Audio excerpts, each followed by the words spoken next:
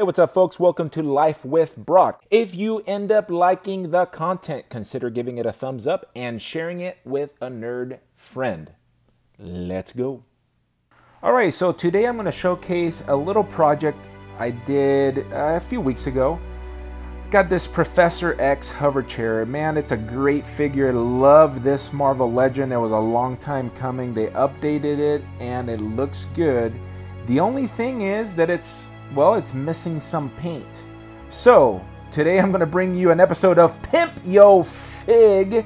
I'm going to show you what I did to spruce mine up a little bit. And uh, I didn't do uh, the splooch caca there in his head. I didn't do Professor X, but I did focus on the chair.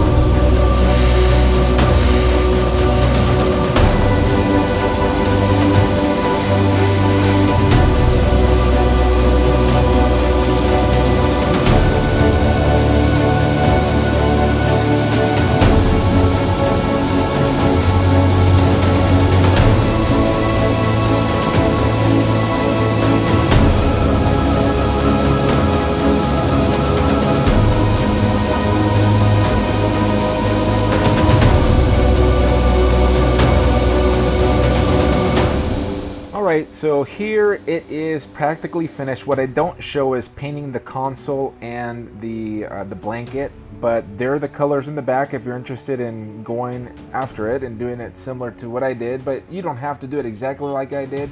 Just eyeball the colors, and here he is completely finished. I did add some edge highlighting to the chair right there in white. As you can see, it shows like the, the sun reflecting off of it. Really happy with the results. I'm really happy that I airbrushed this thing. If you're going to repaint this chair, I highly, highly recommend that you use an airbrush because the paint will come out so much neater. And yeah, man, this now looks like a premium figure, something I'm happy with. Hopefully that motivated you. Hit the thumbs up if you like the video and share it with a nerd friend. Thanks, guys. See you on the next one. Peace.